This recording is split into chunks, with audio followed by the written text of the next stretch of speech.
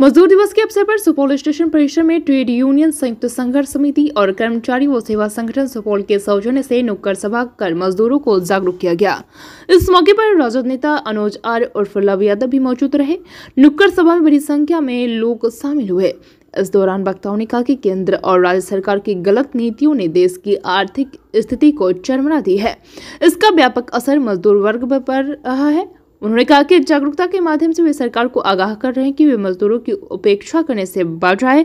उन्होंने कहा कि सरकार मजदूर के हित में कार्य नहीं कर रही है इसके लिए वे लोग तमाम मजदूरों को जागरूक कर रहे हैं ताकि मजदूरों के हक की आवाज़ सरकार तक पहुंचाई जा सके। बीएनपी न्यूज़ के लिए सुपौल से संवाददाता अमरीश कुमार की रिपोर्ट। उद्देश्य क्या था?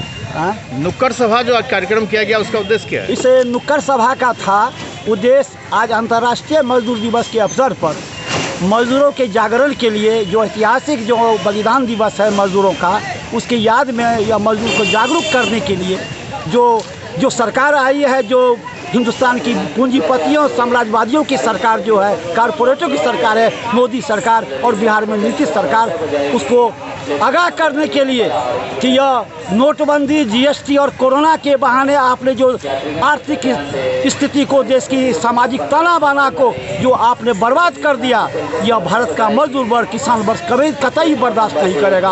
हम लोग इसी तरह से जाग, जागरण करते हुए पूरे मई महीना यह मई दिवस को गाँव गाँव तक ले जाएँगे संदेश को पहुँचाएँगे और तमाम जागरूक करेंगे मजदूरों को किसानों को और संघर्ष ताकतों को। क्या नाम हुआ? Jitendra Chaudhary. All India Central Council of Trade Union के जिला अध्यक्ष। आज अंतर्राष्ट्रीय मजदूर दिवस के शुभ अवसर पे नुक्कड़ सभा का आयोजन किया गया। कम्युनिस्ट जितने भी साथी हैं, उसी के नेतृत्व में आज किया गया है कि देश में बढ़ती बेरोजगारी, महँगाई, भ्रष्टाचारी, किसान के साथ अव्यवहार सतेला व्यवहार जो किया जा रहा है। उसी के खिलाफ में जो है, आज हम लोग का जो नुक्कड़ सभा किया गया है, जिस तरह से मजदूर को सताया जाता है, किसान को सताया जाता है, शिक्षा, स्वास्थ्य, कोई भी व्यवस्था इस सरकार में सही नहीं है। इसी व्यवस्था के खिलाफ में आज हम लोग जो है नुक्कड़ सभा के माध्यम से सभी लोगों को जो जागरूक करने का काम कर रहे हैं।